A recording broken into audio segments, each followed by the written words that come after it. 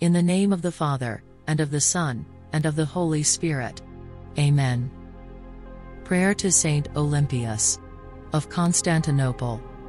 Heavenly God, the exaltation of the lowly, who willed that blessed Olympias should excel in the beauty of her charity and patience, grant, through her merits and intercession, that, carrying our cross each day, we may constantly persevere in love for you.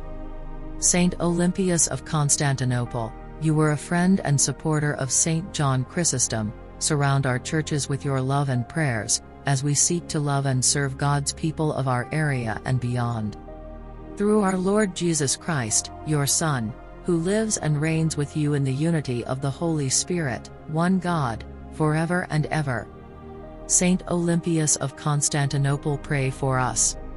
Amen.